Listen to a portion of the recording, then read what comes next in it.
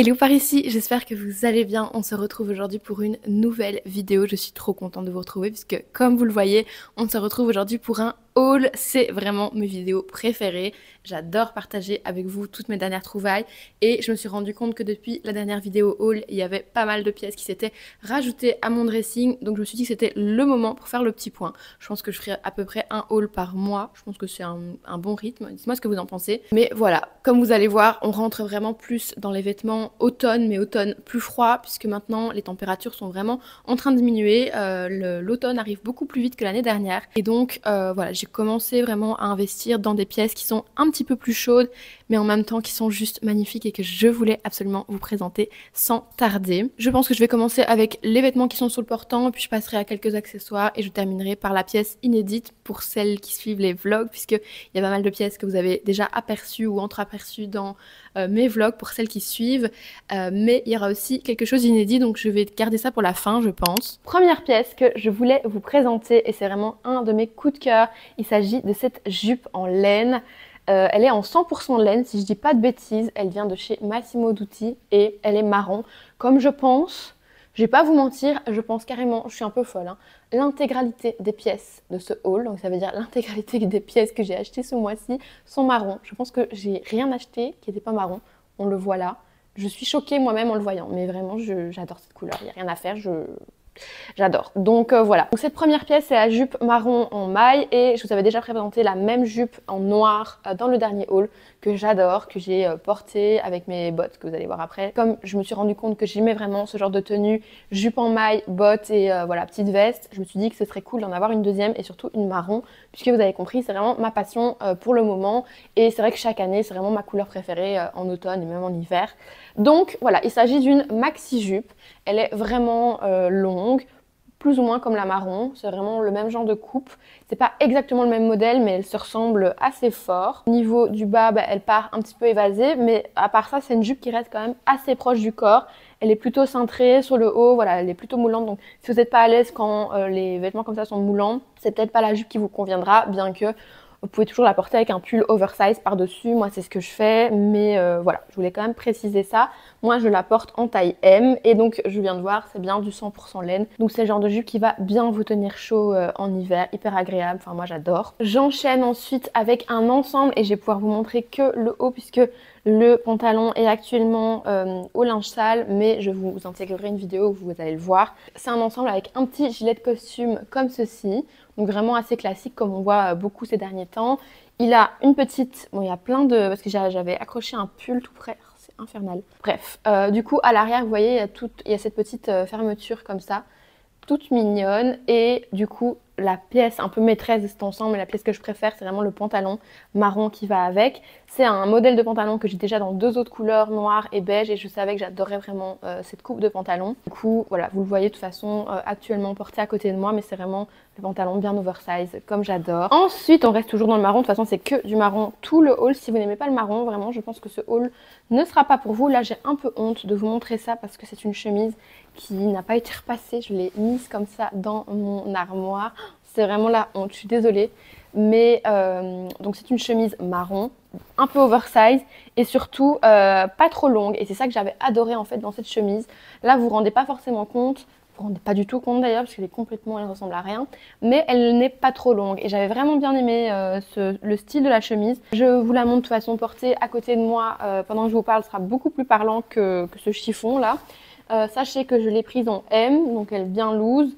Mais avec le recul, je trouve quand même que cette chemise a un défaut, c'est qu'elle... Bon là évidemment elle sort de la machine, donc elle est chiffonnée logique. Mais la fois où je l'ai portée, je l'avais vraiment toute bien repassée le matin.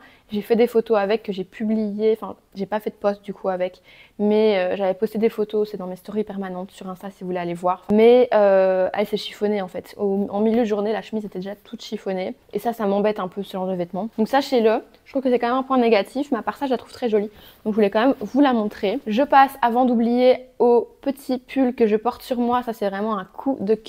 Je l'ai acheté il y a pas très longtemps, ça fait une semaine je pense. C'est un petit pull en maille, donc c'est du 100% laine aussi, qui vient de chez Massimo Dutti, mais qui est tout fin. Vous voyez un petit peu d'ailleurs euh, mon soutien-gorge à travers. Euh, si vous n'êtes pas à l'aise avec le fait de voir les sous-vêtements en transparent, vous pouvez totalement mettre un petit top avec. D'ailleurs, c'est probablement ce que je ferai euh, de temps en temps aussi. Mais il est vraiment, je trouve, hyper mignon. J'ai pas beaucoup de pulls comme ça qui sont plus fin, moins oversize et vraiment j'adore. Typiquement pour ce type de modèle là, bah, je ne surtaille pas parce que c'est vraiment le but euh, du, vêtement de se porter plus près du corps. Donc ici c'est une taille S, mais vous voyez qu'il n'est pas non plus euh, moulant. Quoi. Vous voyez que les manches ne me moulent pas, même ici. Voilà, il n'est pas moulant, mais ça reste un modèle plus près du corps, pas, pas oversize. Quoi. Donc moi j'ai pris du S, euh, c'est vraiment bien suffisant. J'ai déjà porté plusieurs fois lavé parce que vraiment je le trouve hyper hyper mignon. Je trouve que ça va avec plein de trucs. Euh, en dessous d'un blazer si vous voulez un petit pull pas trop large mais qui tienne chaud quand même parce que c'est du 100% laine. Je le trouve trop pratique. Donc vraiment gros coup de cœur. Et alors la couleur marron foncé comme ça c'est ma couleur. Donc autant vous dire que j'adore ce petit pull là. Alors ensuite j'embraye sur un petit accessoire que pareil j'adore. Un de mes coups de cœur aussi euh, de, cette vidéo. Il s'agit d'une petite ceinture en daim marron foncé toujours euh, avec la boucle argentée. Elle est super minimaliste. Donc, je vous avais présenté, je pense, dans le dernier haul, la ceinture que je porte ici, qui vient aussi de chez Massimo Dutti, qui est en cuir cette fois-ci, avec les petits clous argentés. Donc, je l'adore. Et j'avais envie d'une ceinture un petit peu plus minimaliste, et surtout en daim, parce que j'adore le daim euh, cette saison. Et du coup, j'ai trouvé celle-ci. Je la trouve ultra classe. J'ai porté plus que celle-là ces dernières, euh, ces dernières semaines depuis que je l'ai. Celle-ci, je la reporte pour la première fois aujourd'hui.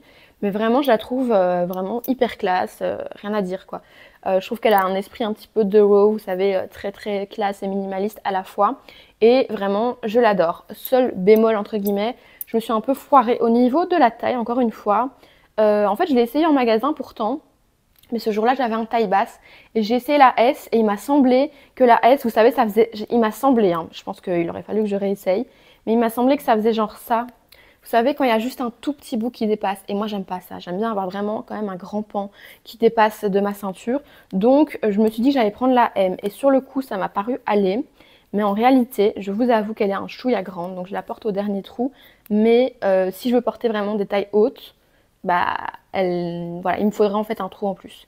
Donc euh, en réalité, je pense que ma taille aurait été plus le S. D'ailleurs ici, avec cette ceinture-là, Bon, pour référence, je fais un 38, hein, donc euh, j'espère que ça vous aiguille le mieux possible. Je fais un 38, là je porte la S et c'est vraiment parfait. Et je comprends pas en fait ce qui m'a pris de prendre la M pour celle en. J'avais l'impression qu'elles étaient, taillées différemment et euh, peut-être que c'est le cas, hein, je sais pas, je me suis peut-être pas trompée, en réalité peut-être que j'ai bien fait. Mais il faudrait quand même que je fasse rajouter un trou supplémentaire pour bien la serrer quand je porte des tailles hautes. C'est juste ça. Donc voilà au niveau euh, taille et au niveau ceinture mais sinon je la trouve vraiment trop trop belle, j'arrête pas de la porter. Ensuite dans la dernière vidéo je vous avais parlé d'un lot de bracelets que j'avais pas encore pu vous présenter puisque je n'avais pas encore reçu à ce moment là. Il s'agit de ce lot de bracelets là mais regardez-moi la beauté des couleurs. Autant vous dire, je pense que vous ne me voyez plus jamais sans euh, depuis que, j'ai ce bracelet, c'est tous les jours que je les porte littéralement. Je peux plus m'en passer. Généralement, je mets souvent, enfin ça c'est mon préféré, je le mets vraiment euh, tous les jours, tous les jours, au-dessus d'un truc long, manche longue comme ça. Je trouve ça sublime. Je trouve que vraiment ça rajoute euh, un gros plus à la tenue. Ces deux-là, je les trouve canon aussi ensemble. Je vais vous montrer. Regardez ces deux-là ensemble. C'est trop canon, on est d'accord? Vraiment, je suis trop fan. Je les porte tellement que j'ai envie de me prendre un autre lot de bracelets dans le même genre pour pouvoir alterner. Mais vraiment, euh, ce lot-là, je suis amoureuse. Donc, euh, donc je voulais vous le montrer, même si euh, j'ai l'impression qu'il est sold out, mais je le vois revenir de temps en temps parce que j'ai toujours dans ma wishlist Zara, vous savez, et je vois quand les pièces reviennent. Donc je sais qu'il revient de temps en temps, mais c'est quand même la fin. Mais Zara continue à ressortir des, lots comme ça. Il y en a un autre dans les tons plus burgundy qui est sorti là, donc si vous aimez ces tons-là, allez, allez checker. On continue avec l'un de mes plus gros coups de cœur du mois, si pas mon plus gros coup de cœur, littéralement. Enfin, vous me voyez tout le temps avec, je pense, si vous me suivez. C'est ma veste en daim de chez Massimo Dutti. Beaucoup de pièces hein, de ce haul viennent de chez Massimo Dutti. Mais regardez-moi cette merveille. Je ne savais pas au début si j'allais craquer pour cette tendance. J'adorais depuis le début la tendance des vestes en mais elle coûte vraiment un certain prix. Et du coup, je ne savais pas si j'allais me laisser tenter. J'ai résisté 2-3 semaines. Et au bout de 2-3 semaines, ben, j'ai fini par craquer. Et je vous avoue que je regrette vraiment pas cet achat parce que l'achat est déjà rentabilisé. Je l'ai portée presque tous les jours depuis que je l'ai, honnêtement. Évidemment, sauf quand il pleut, mais euh, à part ça, dès qu'il pleut pas, je la sors. Je trouve que vraiment, elle est incroyable. Je sais pas si vous voyez bien. Alors, comme avec toutes mes vestes, les manches sont un peu longues, mais j'ai trouvé l'astuce, donc ça, je suis hyper contente. Alors, quand j'ai un gros pull en dessous, ça a tendance à un peu raccourcir les manches, donc j'ai moins ce problème. Mais si j'ai quelque chose de plus fin en dessous, en fait, ce que je fais, et ça tient vraiment toute la journée, donc en fait, je rentre la manche sur elle-même, comme ça. Hop, du coup, c'est parfait. Et honnêtement, ça me tient toute la journée sans aucun problème. Ça s'enlève juste quand j'enlève la veste. Mais autrement, euh, ça tient très bien. Donc vraiment, euh, je suis hyper, hyper contente euh, de, de, cet achat. Concernant la taille, je l'ai surtaillée en taille L. Sachant qu'habituellement, je surtaille, enfin je surtaille, j'ai du mal à dire ma taille de base en fait. Mais je prends toutes mes vestes en taille M, soit veste ou manteau parce que justement moi je porte tout très oversize. Donc normalement j'aurais pris une taille M, mais là euh, je l'ai essayé en taille M. Ce jour-là j'avais un gros pull et j'ai trouvé que ça faisait vraiment trop étriqué avec le gros pull. Donc de façon à pouvoir la porter bah, bien loose comme j'aime bien, tout en mettant un pull en dessous, sachant qu'il il faisait déjà froid le jour où je, l'ai acheté et je savais que le froid allait arriver très vite. Je voulais pas me retrouver bloquée à pas pouvoir la porter à cause de ça. Donc j'ai surtaillé en L et je regrette tellement pas ça me permet, euh, enfin voilà, je l'ai déjà porté avec euh, un pull en dessous. J'ai même déjà porté avec ma veste euh, sœur sans manche, je sais pas si vous voyez, marron en dessous pour avoir vraiment une couche en plus. et c'était vraiment parfait, pas du tout étriqué. Et c'est ça que j'aime trop. Donc du coup, vraiment, je, je regrette vraiment pas de, l'avoir surtaillé. C'est un modèle qui n'est pas forcément loose de base, mais du coup, je trouve que le rendu, la dégaine comme ça, est vraiment méga, méga canon. Je, je suis fan. J'ai vu qu'ils avaient sorti la même en kaki. Si vous aimez le kaki, une merveille aussi. Ensuite, autre gros achat du mois, et alors un achat à nouveau que je ne regrette absolument pas. Il s'agit de cet énorme sac en daim de chez COS. Vous le voyez porté comme ça. Alors il est très grand, donc c'est pas le sac que je sors euh, tous les jours juste pour aller faire deux trois courses clairement, mais c'est vraiment le sac que je prends avec moi typiquement. Vous savez que moi je n'habite pas sur Bruxelles, mais je suis souvent sur Bruxelles. Quand j'y vais, c'est vraiment pour passer une grosse journée. Et quand je fais ça, maintenant je prends tout le temps ce sac parce que littéralement je peux emmener ma maison dedans, euh, un petit pull de rechange, ma trousse de maquillage, bouteille d'eau, tout tout tout rentre. Il est vraiment bah, très spacieux, comme vous pouvez voir. Donc c'est le sac euh, inspiration de Raw. Je pense que vous voyez l'inspiration. Il a des petits clous comme ça en dessous pour le poser euh, bah, sans l'abîmer. Et enfin, typiquement avec ma tenue d'aujourd'hui, mais je suis amoureuse. Je trouve qu'il est vraiment très très beau. Je sais que pour certaines il est trop grand, vraiment pour moi pas du tout. Je, trouve que c'est vraiment hyper sympa. Je trouve que surtout quand on a un gros manteau, je vais vous montrer après sur un manteau, ça fait vraiment une dégaine euh, méga sympa. Enfin moi je suis fan et il va me suivre vraiment celui-là euh, tout l'hiver et tous les hivers qui suivent parce que je trouve que c'est ça reste un classique quoi. voilà je, suis fan, vraiment je suis fan. Vous voyez, il est hyper spacieux à l'intérieur, il y a plusieurs euh, espaces de rangement. Il est vraiment méga pratique, je l'adore. On va maintenant passer à l'avant-dernière pièce de ce haul. Il s'agit de cette paire de bottes en daim euh, dont je suis vraiment tombée amoureuse quand je les ai reçues. C'était vraiment les bottes que je recherchais. Je voulais vraiment cette année une belle paire de bottes en daim et en même temps voilà qui, euh, qui soit élégante. Enfin voilà, ce style-là exactement, euh, pas trop cow-boy non plus, mais quand même avec ce petit, ce petit rappel du, style un peu cow-boy, je sais pas si vous voyez, mais tout en restant plutôt soft. Et c'est vraiment exactement ce que j'ai trouvé dans ces bottes-là. Je les ai achetées notamment et principalement même pour aller avec mes jupes en maille.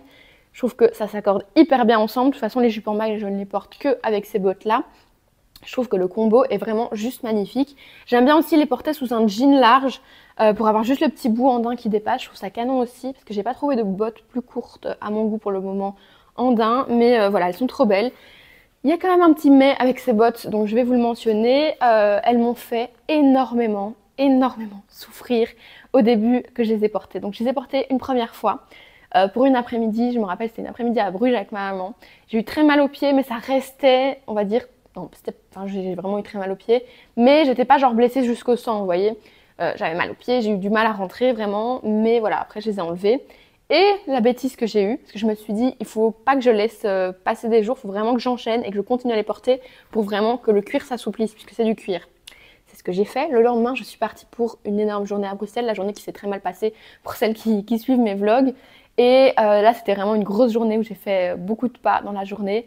Et euh, ça a été horrible. Ça a été horrible. Je ne sais même pas comment je suis rentrée chez moi parce que je, je ne savais plus marcher. J'étais vraiment, j'étais comme ça dans la gare. Les gens ont dû me regarder, mais comme une dingue. Là, vraiment, j'avais les petits orteils, parce que c'est vraiment les petits orteils hein, où j'ai mal. Les petits orteils en sang, littéralement, je vous dis en sang. C'était une catastrophe. Euh, j'étais dépitée parce que j'adore ces bottes. Euh, donc ce que j'ai fait, c'est que j'ai attendu que ça aille mieux, évidemment, parce que là j'étais vraiment dans un état pas possible. Et euh, au bout d'une semaine, une semaine et demie, je les ai reportés pour une après-midi et ça s'est beaucoup mieux passé. J'ai eu beaucoup moins mal. Donc je me suis dit ça va mieux. Là je les ai reportés une deuxième fois, enfin donc c'est la quatrième fois. J'ai eu un petit peu mal légèrement sur la fin, mais rien à voir, rien de comparable avec les deux premières fois où je les ai portés. Donc j'ai l'impression que c'est en bonne voie. Je vais pas vous dire que c'est mes chaussures les plus confortables, ce serait vous mentir. Euh, quand je veux être confort et marcher euh, bien à l'aise toute la journée, je mets mes hugs, clairement, ou des baskets. Mais euh, c'est en bonne voie. J'ai l'impression que c'est en bonne voie. Je peux les mettre sans mourir complètement avant la fin de la journée. Je peux les mettre et je me dis que ça va s'améliorer de plus en plus. Donc en tout cas, je l'espère. Donc voilà, je voulais quand même vous préciser ça. Sinon, en termes de taille, j'ai pris ma pointure habituelle. Je ne me sens pas serrée dedans, donc ça c'est quand même l'avantage. C'est juste que j'ai chaque fois mal aux petits orteils. Euh, en fin de journée, mais j'ai pris mon 37 habituel et au niveau taille, on est bon. Et on arrive à la fin de ce haul avec ma pièce nouvelle que vous n'avez pas encore vue et que j'avais trop hâte de vous présenter. Il s'agit de ce manteau COS que j'ai acheté hier. Je suis littéralement euh, en amour, donc c'est un manteau marron. Je cherchais absolument, regardez, c'est vraiment les mêmes tons que, que mon haut. J'étais vraiment à la recherche pour cet hiver d'un manteau marron. C'était vraiment ma, ma target manteau. D'ailleurs, j'en avais parlé à quelques-unes, j'en avais parlé à quelques-unes d'entre vous en commentaire euh, sous la dernière vidéo qui était sur les, vestes tendances de la saison, je pense. Bref, je cherchais vraiment un manteau marron et là, j'ai essayé celui-là chez COS. Donc, j'avais déjà repéré, mais je savais pas encore si j'allais aimer sur moi ou pas. Je l'ai essayé hier chez COS. Ça a été le coup de foudre instantané. Euh, je vous l'ai montré aussi, vous avez tout adoré sur, euh, sur Insta. J'étais avec ma sœur, elle a kiffé aussi. Donc euh, quand tout le monde autour de moi kiffe, ça me convainc encore plus. Faut savoir que c'est un manteau qui est extrêmement oversize. Donc c'est vraiment la coupe du manteau, il se porte très oversize. Moi j'ai pris une taille S. Pour vous dire, parce que moi normalement je surtaille vraiment tous mes manteaux pour avoir cet effet loose. Donc je prends minimum du M normalement, et là vraiment vous allez voir que j'ai pris du S mais ça taille vraiment comme, euh, comme, comme au moins un M. Quoi. Évidemment, là, j'ai pas de gros pull en dessous. Le but, c'est de le porter, bien sûr, avec des gros pulls dessous, mais regardez-moi la beauté. Alors là, je vais être coupée, mais vous me verrez en entier sur le côté, ce sera beaucoup plus simple. Il est juste, euh, juste incroyable. Je suis vraiment ultra fan de ce manteau. Je trouve que même quand on voit le haut comme ça, c'est sublime. Euh, sachez que du coup, euh, je l'ai dit, j'ai pris du S. Les manches, mais ça je vous l'ai dit, littéralement toutes mes vestes et manteaux c'est pareil. Donc les manches sont un petit peu trop longues. Euh, je pourrais, comme j'avais dit dans ma vidéo sur, sur Insta, je pourrais les, les faire raccourcir je pense par une couturière. Je pense que ça doit se faire. Maintenant, je sais pas si je le ferai parce que je vous avoue que comme ça, le côté un peu retroussé, je trouve que ça casse un peu le côté classique du manteau et ça fait un petit look. voilà, j'aime bien moi ce petit côté retroussé. Je pense que tout le monde n'aimera pas, mais moi, j'aime bien. C'est un peu ma vibe. Donc, je pense peut-être le garder comme ça. Je ne sais pas. Dans tous les cas, il est vraiment très beau. Même fermé, je le trouve magnifique. Enfin, vraiment. Ah oui, et je voulais vous montrer avec le sac. Avec le sac, c'est vraiment une pure pépite. Alors là, regardez-moi, s'il vous plaît, ce look. Bon, évidemment, malheureusement, vous ne voyez pas en entier. Mais avec le sac. On me demande souvent aussi par rapport au sac s'il tient bien à l'épaule. Alors personnellement, j'ai regardez, je bouge, tac, tac, tac. Vraiment, perso, moi, une fois qu'il est sur mon épaule, parfois je galère. Bon, là, pas avec ce manteau, mais si j'ai une veste un peu courte, vous savez, ça va remonter la veste. Donc, au moment de le mettre, j'ai souvent besoin de bien le mettre, bien tirer sur ma veste, machin, pour que tout se mette bien. Donc, je mets quelques secondes à le caler sur mon épaule. Mais une fois qu'il est sur mon épaule, il ne bouge.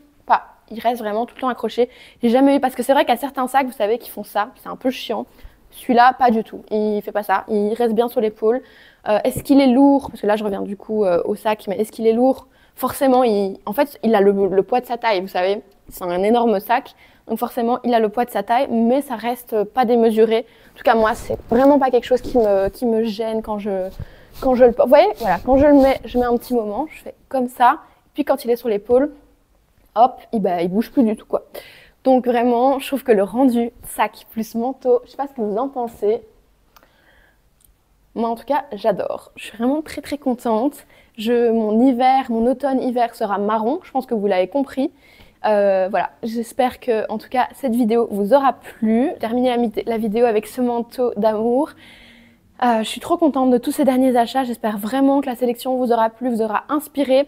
J'ai oublié de le dire quand j'ai présenté la jupe, mais ça me revient maintenant, donc je voulais quand même le mentionner. Cette jupe, j'ai trouvé euh, pas plus tard qu'hier un dupe absolu. Euh, vraiment la même jupe chez Mango. Évidemment, elle n'est pas en 100% laine, mais elle est quand même 40 euros, je pense, moins chère. Donc je vous mettrai, si vous voulez, le, similaire de cette jupe chez Mango. voilà, si vous voulez pas mettre un budget trop énorme dans une jupe en maille, voilà, je trouvais qu'elle était vraiment jolie, donc je voulais vous en parler aussi. Et euh, voilà, j'ai déjà repéré euh, plusieurs nouvelles choses qui arriveront pour les prochaines vidéos, dont des mailles vraiment sublimes. Donc euh, j'ai trop hâte de vous montrer ben, les futures trouvailles aussi. Mais en tout cas, voilà, j'espère que voilà, ça vous permet peut-être de vous inspirer pour votre shopping d'automne-hiver, de vous donner des idées de look, peut-être même avec des pièces que vous avez déjà dans vos dressings.